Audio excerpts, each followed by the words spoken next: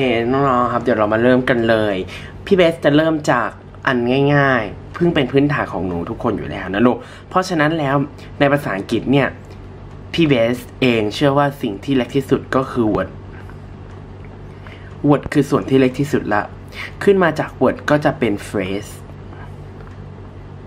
นะลูก phrase คือวลี ขึ้นมาจาก phrase ก็จะเป็น clause จาก clause ก็จะมาเป็น sentence ส่วนบางคนก็มีใหญ่กว่านี้ก็เอาเป็น paragraph เป็น essay ก็ว่าไปนะ ว่าหนูจะเอาอะไรให้มันใหญ่ขึ้นมา ซึ่งแต่ละอันเนี่ยมันเป็นการประกอบจากส่วนเล็กๆ เนี่ยประกอบมาจากส่วนนี้เนี่ยที่เล็กสุดมาเป็น phrase มาเป็น clause แล้วก็มาเป็น sentence แต่พี่เบสเชื่อว่าทุกคนคงจะผ่านทุกสิ่งมาแล้วในชีวิต แต่ว่าพี่คะหนูจำไม่ได้ค่ะ หนูไม่ท่องไงคะหนูไม่อ่านไงลูกหนูก็เลยจำไม่ได้ วันนี้พี่เบสจะมาสอนหนึ่งเรื่อง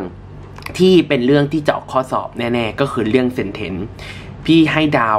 38 98 ล้านดวงว่า ถ้าหนูทำข้อสอบเซนเทนหนูทำข้อสอบแอร์เลอร์และหนูหาโครงสร้างที่เป็นส่วนประกอบของเซนเทนหนูจะทำได้แล้วหนูจะหาส่วนที่มันผิดได้นะลูก เพราะฉะนั้นพี่เบสมาเริ่มกันที่เซนเทนเซนเทนเซนเทนในภาษาอังกฤษเนี่ย มี หลักๆ แล้วมีไม่เยอะ แต่ส่วนหลักๆ พี่หมายไม่ได้หมายถึงว่าส่วนหลักนะลูก หมายถึงหลักๆ แล้วเซนเทนในภาษาอังกฤษมีไม่เยอะ แต่ส่วนหลักในเซนเทนหนูจะต้องหา verb ให้ได้ verb เป็นสิ่งที่บอกการกระทำว่าใครทำอะไร ใครหนูหมายถึงใคร หมายถึง subject subject ทำอะไร subject ส่งการกระทำไปให้ verb ใครทำอะไรเป็นโครงสร้างที่หนึ่งนะโลกนะ อะจริง ๆ โครงสร้างในภาษาอังกฤษนะ ประกอบไปด้วย subject กับ verb แน่นอน ส่วนหลักๆ โอเค โครงสร้างที่ 2 พี่เบสบอกว่า subject บวก verb บวก object โครงสร้างที่ 3 subject verb object object โครงสร้างที่ 4 subject verb complement โอ้ my god อะไรคะพี่ สุดท้าย subject verb object และก็ complement โอ้ my god พี่ I never seen before หนูไม่เคยเจอมาเลยค่ะ หนูเคยเจอแต่ subject verb I eat I eat rice subject verb object I work I eat rice อะไรแบบนี้เนี่ยหนูเคยเจอแต่แบบอะไรที่แบบเล็กๆ น้อยๆอะถ้าหนูสามารถหาส่วนนี้ได้นะคะลูก ที่เป็น verb แท้ของประโยค เนี่ยมันจะทำให้การทำข้อสอบของหนูง่ายขึ้นมาก ๆ และหนูจะต้องรู้ว่าแต่ละส่วนคือส่วนที่สำคัญมาก นะฮะนะนุกนะ ถ้าพี่เบสเขียนอะไรผิดไปนิดนึงเนี่ยอย่าเพิ่งมาตบนะอย่าเพิ่งมาเผานะลูกอะเดี๋ยวเรามาดูกันเลยพี่เบสบอกว่าสิ่งแรกเป็นสิ่งที่สำคัญก็คือ verb เพราะฉะนั้น verb เป็นสิ่งที่สำคัญ ก่อนที่หนูจะรู้จักในส่วนหนูต้องมารู้จักก่อนว่า sentence คืออะไร เมื่อกี้เราย้อนขึ้นไปข้างบน sentence คือโครงสร้าง โครงสร้างที่ประกอบไปด้วย subject และ verb อย่างน้อยหนึ่งตัว คือโครงสร้าง ที่ประกอบไปด้วย subject และ verb อย่างน้อยหนึ่งตัว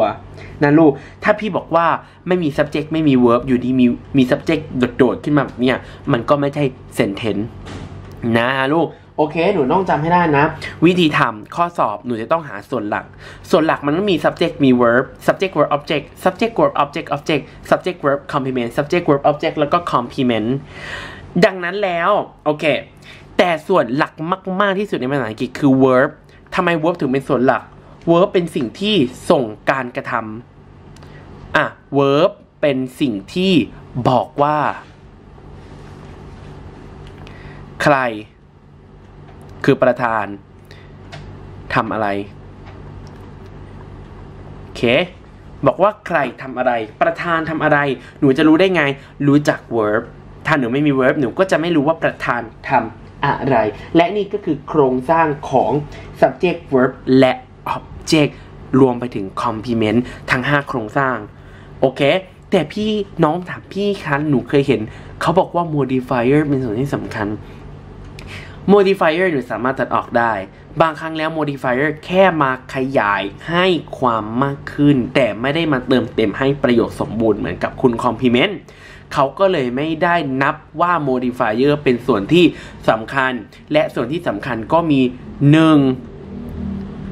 2 3 และ4สี่ส่วนนี้คือส่วนที่สำคัญที่เราจะมาเรียนกันในวันนี้นะคะ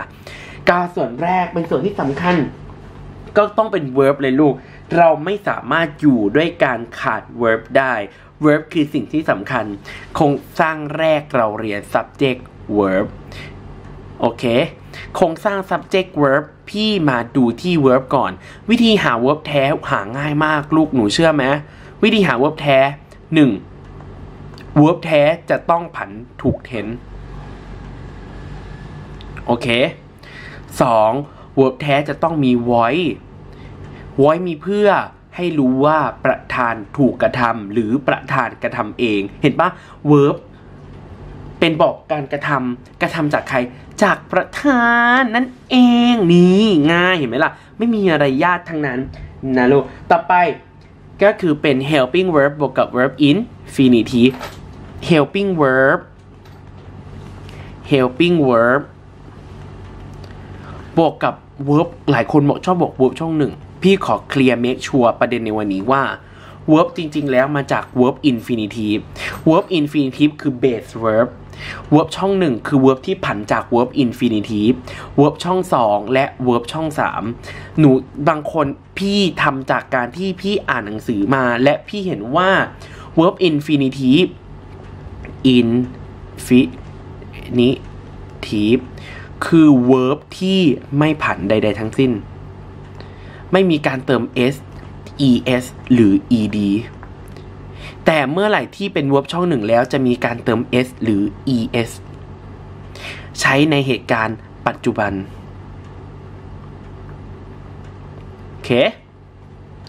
และ verb ช่อง2จะมีการเปลี่ยนรูปหรือเติม ed หรือเปลี่ยน y เป็น i แล้วเติม ed อะไรก็ได้ใช้เหตุการณ์ที่เกิดขึ้นในอดีต และทุกคนก็พูดเป็นเสียงเดียวกันนะพี่ verb ช่อง3ใช้เหตุการณ์ที่เกิดขึ้นในอนาคตผิด verb ช่อง 3 เราเรียกเขาว่า participle participle ชื่อก็บอกอยู่ว่าต้องไป participate เป็น verb แปลว่าเข้าร่วม ต้องไปเข้าร่วมกับคนอื่น เพราะฉะนั้น verb ช่อง 3 เราจะใช้ใน perfect และใช้ใน passive โอเค นะ make sure ว่าหนูจะต้องจำไม่ผิดว่า verb in เอ่อ verb infinitive คือ verb ที่ไม่ผันกับใคร บางที่ก็ชอบพูดว่ามันคือ verb ช่องหนึ่ง แต่ว่า verb ช่องหนึ่งต้องมีการผัน อ้าว he runs เห็นไหมใช้ verb ช่องหนึ่งไม่ได้ใช้ verb infinitive นะลูก อะ กลับขึ้นไปข้างบนเมื่อกี้ ต่อไปสองละสามแล้วนะ สี่หนูดูจากตรง verb suffix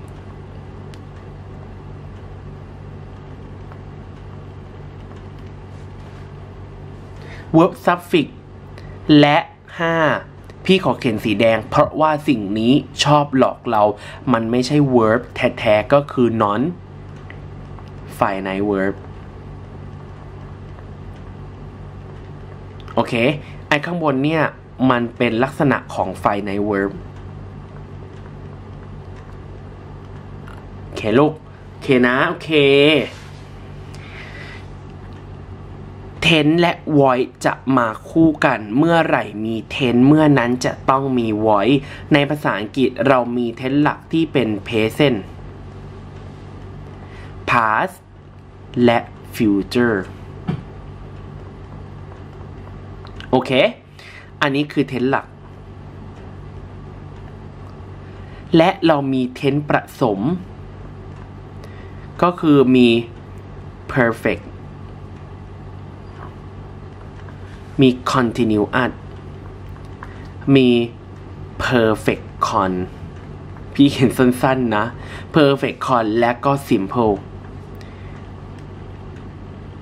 โอเค เพราะฉะนั้นตอนนี้เรารู้แล้ว present perfect present con present perfect con แล้วก็ present simple มันก็มีในทั้งหมดมี 12 tense 12 tense ที่เป็น active เห็นไหมาแล้ว active ไว้และหนูอย่าลืมทวีคูณกับ passive ด้วยเติม s อ่าเติม s ที่เป็น passive ไว้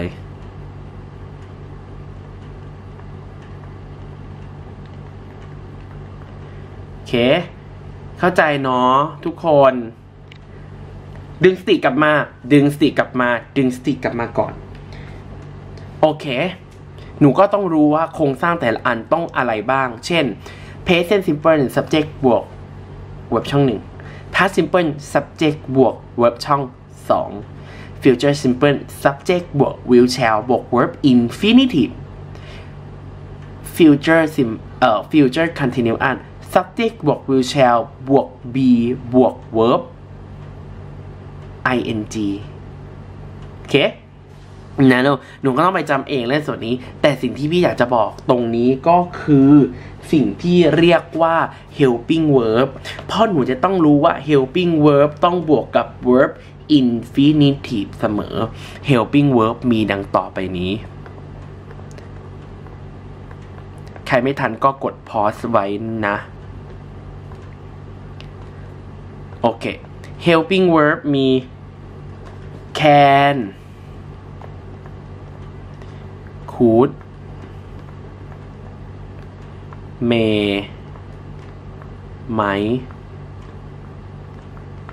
oops I did it again ht เขียนติดกันนะ แต่ว่ามันเป็นห่างของไอ้ตัวนั้น will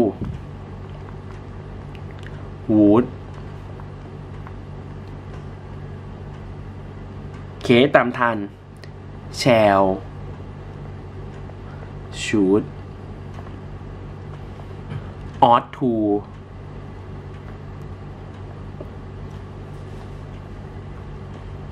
ทูแล้วก็ be going to โอเค had better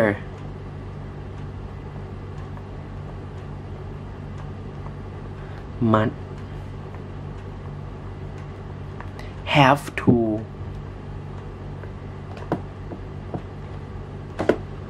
have to แล้วมีอะไรอีก have to used to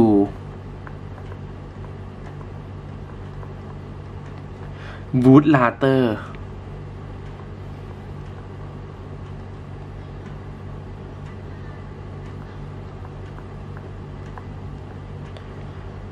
verb to do อุ้ย verb to be และ verb to have โอเค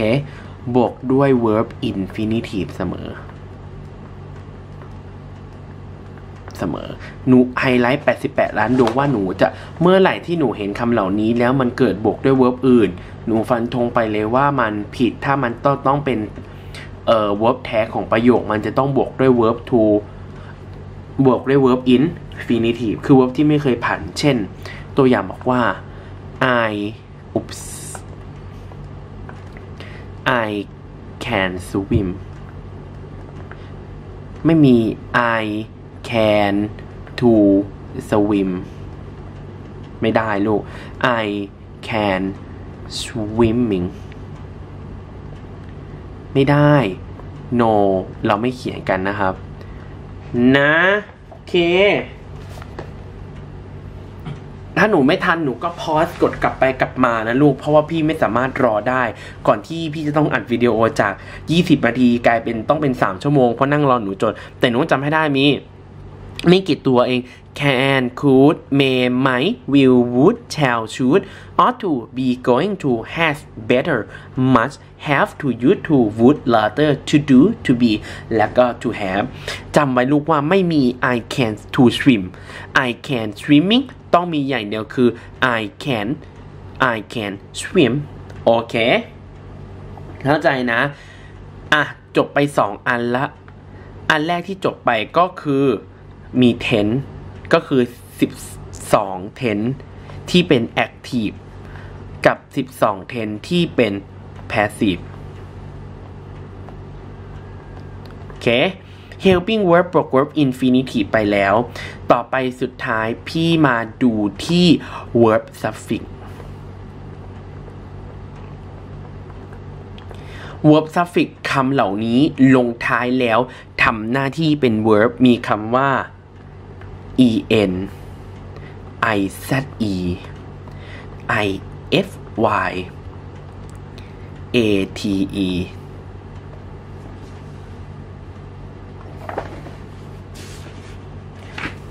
เช่น shorten realize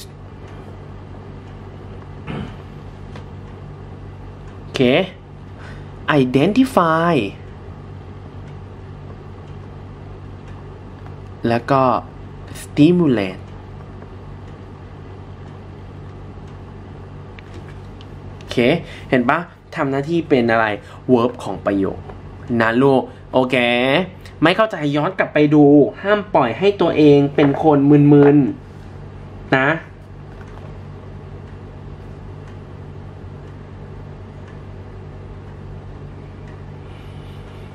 โอเค และสุดท้ายคือสิ่งที่ไม่ใช่เป็น verb แท้ที่ชอบหลอกเราคือ non finite verb พี่ว่าพี่ไม่มีเวลาสอนหนูให้รู้ non finite verb ทั้งหมด แต่หนูจะต้องรู้ว่ามีอะไรบ้าง 1. to infinitive อยู่ดีๆก็มี verb to infinitive มาโดดๆเลย I want to go to school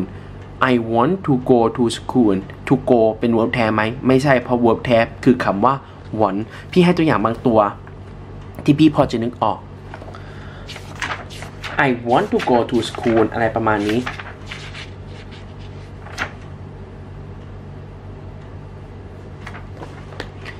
สอง อยู่ดีๆมี verb infinitive มาอยู่เฉยๆ ไม่มีการผันใดๆทั้งสิ้นของประโยค โอเคสาม เจอลั่น เจอลั่นมันคือรูปเหมือนกับ verb ing มันชอบหลอกเราแต่จริง ๆ แล้วมันทำหน้าที่เป็นคำนาม ให้เรางงงๆเล่นๆ งงแป้เอา และสี่ก็คือ participle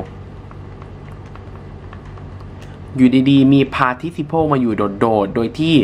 ไม่มีการผันอะไรทั้งสิ้นก็ไม่ได้เหมือนกัน และนี่ก็คือ verb ทั้งหมดนะลูก โอเค หลังจาก verb เสร็จแล้วเรากลับไปหาสิ่งที่เรียกว่า subject โอเค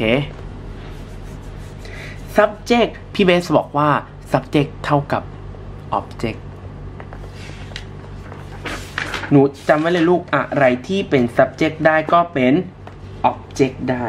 พูดพร้อมกันหนึ่งสองสามอะไรที่เป็น subject ได้ก็เป็น object ได้หนึ่ง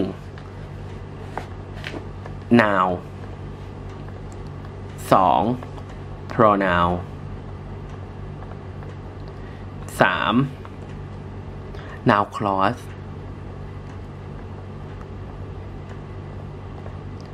สี่เจออะไร เจอลั่นห้า question word บวก to verb infinitive โอเค อย่างนี้แหละ หรือ question word บวก to verb infinitive เช่น เอ่อ อันแรก The singer is me Oops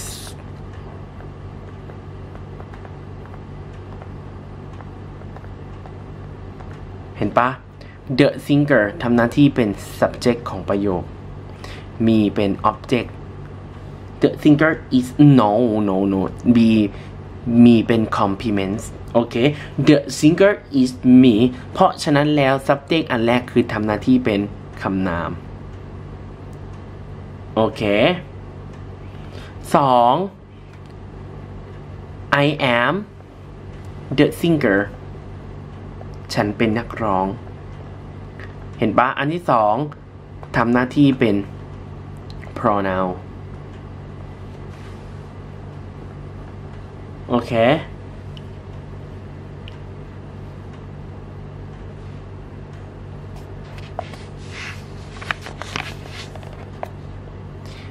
สาม that he um hit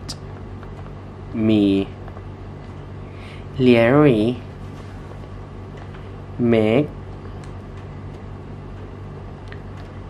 me sad that he punches no that he that he hit me เห็นปะ subject make เป็น verb make me sad โอเค และก็สาม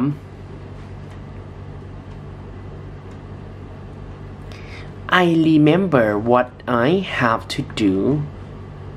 I remember what I have to do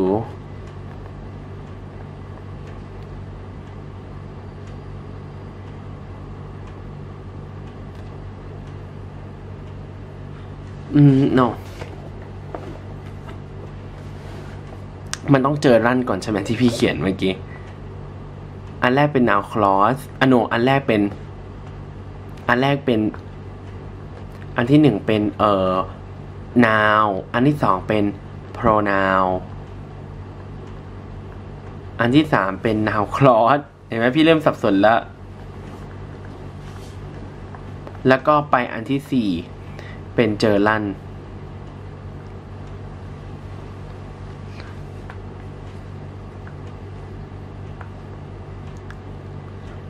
singing no พี่ไม่ชอบละ พี่เปลี่ยนเป็น dancing is my hobby เห็นปะ dancing เป็น subject ของประโยค ตอนนี้ dancing ทำหน้าที่เป็นเจอลั่นเคเป็นคำนามเห็นไหม แล้วก็ห้าเมื่อกี้ก็คือ question word บวก to verb infinitive เช่น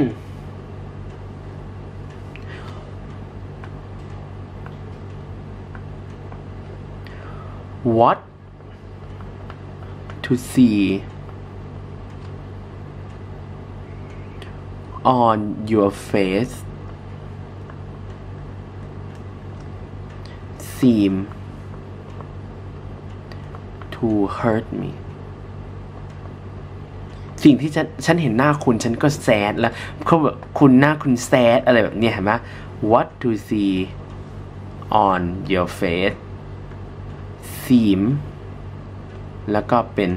to hurt h u r t hurt hurt hurt บางทีก็ hurt นะลูก to hurt h u r t โอเค นะ แต่อันนี้โครงสร้างจบไป 2 อันแล้ว โครงสร้างแรกก็คือ s v จบไปแล้วนะ โครงที่2 s v o พี่มาโครงสร้างที่ 3 ก็คือ s v o o พี่คะยกมือถามว่า s v o o ได้ด้วยหรอคะ เมื่อกี้พี่บอกว่า s v v ไม่ได้ ได้ลูก s v o o สามารถเป็นได้ เพราะว่า o สองตัวนี้คนละ o กัน เพราะว่า o แรก o หนึ่งจะเป็นกำตรง อีก o หนึ่งจะเป็นกำรองหนึ่งจะมี object เป็นกำตรงพี่เขียนภาษาไทย เอ่อ o มีสอง o เพราะว่ามีกำตรง และมีกำรอง มีทั้งกำตรงและกำรอง เพราะฉะนั้นแล้วกำตรงจะเป็นสิ่งของกำรมรองจะเป็นคน แต่กำตรงจะถูกกระทำก่อน เพราะฉะนั้นกำตรงก็เลยเอามาอยู่ข้างหน้าและเอากำรอง เอากำรองมาอยู่ข้างหน้า เพราะเอาคนมาอยู่ข้างหน้า และก็เอาของไปอยู่ข้างหลัง อย่างนี้ subject verb อันนี้จะเป็นกำรม รอง และอันนี้ถึงจะเป็นกำตรง เช่น ตัวอย่างเช่น I let him a car ฉัน ขอยืมรถเขา him ยืม him หรือยืมรถอาคา ยืมรถแต่ขอเขา โอเค เอ่อ he give me a rose he give me a rose he give me a rose งกมากให้ดอกเดียว โอ้ยตาย เห็นปะ he เป็น subject เป็น pronoun อันนี้เป็น present และมีเป็นกำรอง rose เป็นกำตรง โอเค และนี่ก็คือเป็นเรื่องของ S V O O และที่ขาดไม่ได้อีกสองโครงสร้างที่เราจะต้องเรียน พี่ขอเขียนก่อนอันหนึ่งก็คือ S V C อีกอันหนึ่งจะเป็น S V O C โอเค S V C เนี่ย C ตัวแรกจะทำหน้าที่ขยายประธาน เราก็เลยเรียกมันว่า subject complement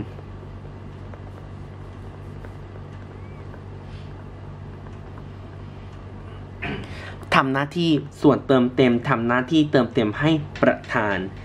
สิ่งที่เราจะสังเกตเราต้องสังเกตจากคุณพวกนี้คือ linking verb ที่มันจะเชื่อม complement กับประธาน มีอะไรบ้างหยิบปากกาเงยหน้า 1. feel sound taste smell become. Turn. Get. Grow. Keep. Come. Look. Appear stay หนูจะจำได้ไหมครับพี่ remain seem และก็ verb to be โอเค ตัวอย่างเช่น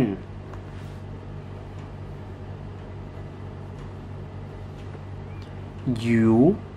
oh my god เขียนอะไรของพี่ you oh look worry today คุณดู worry นะวันนี้ subject ใคร worry คุณ worry เพราะฉะนั้นอันนี้ก็เป็น verb และอันนี้เป็น complement โอเค you look worry today คุณดูกังวลจังเลยนะวันนี้เนี่ย นั่นเองนะลูก โอเค มีอะไรบ้างมี feel sound taste smell become turn get grow keep grow come get go keep come look appear stay remain seem แล้วก็ verb to be ทั้งหมดนี้เราเรียกว่า linking verb หรือบางคนชื่ออย่างเป็นทางการคือคำว่า co pu la verb โอเค ก่อนที่เวลาจะไปพี่เบสไปต่อก่อนที่จะเสียเวลาไปมากกว่านี้ ต่อไปพี่เบสไปดูที่ SVOC SVOC โครงสร้างที่ 4ทำหน้าที่ขยาย O แสดงว่าแบบนี้เราเรียกส่วนเติมเต็มว่า Object Complement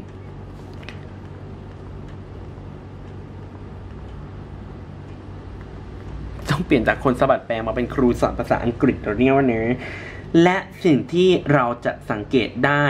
ก็คือกริยาต่อไปนี้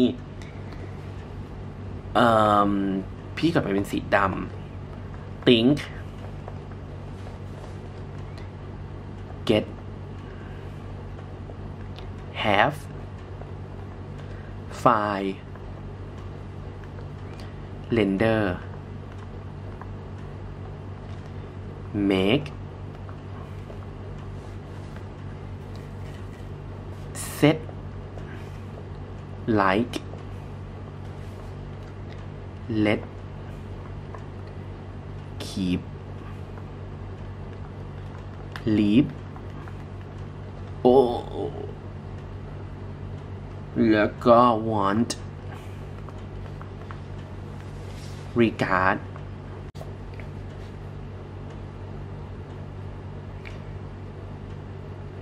แล้วก็ open แล้วก็ name pen appoint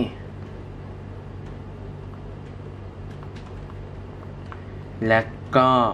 call จะจบแล้วจะจบแล้ว elect ploop และก็ shoot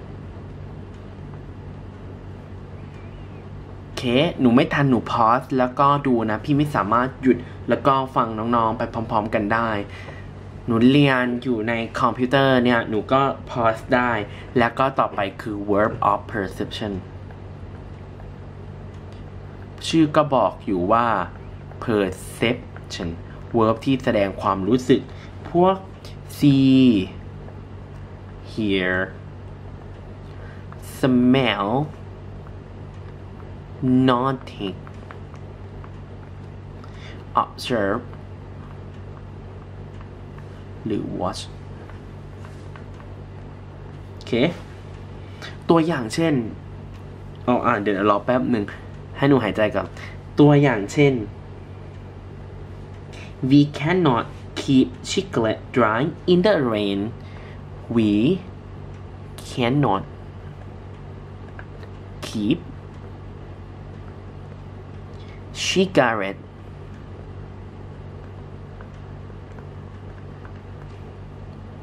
dry in the rain พวกเราไม่สามารถเก็บบุหรี่ให้มันแห้งในฝนในขณะที่ฝนตก พวกเรา cannot keep verb chocolate เป็น object keep อะไร keep chocolate ช็อกโกแลตชิกโกแลตแล้วก็ dry เป็น complement อะไร keep อะไร keep ชิกโกแลตเห็นปะทำหน้าที่ขยายชิกโกแลตและนี่ก็คือโครงสร้างทั้งหมดที่เราได้เรียนกันไปมีโครงสร้าง SV SVO SVOO SVC SVOC นะลูก ราะฉะนั้นแล้วถ้าหนูเข้าใจทั้งหมดแล้ว เราก็จะสามารถวิเคราะห์ประโยคได้โอเคถ้าหนูสามารถวิเคราะห์ประโยคได้มันจะเป็นอะไรที่ง่ายมากนะลูกโอเค เพราะฉะนั้นแล้วและนี่ก็คือโครงสร้างภาษาอังกฤษที่พี่ให้หนูเห็น และหนูก็จะสามารถไปวิเคราะห์ ทั้งหมดได้ ในข้อสอบเวลาหนูเห็นข้อสอบ error มาเนี่ยหนูก็จะสามารถวิเคราะห์เขาได้ว่า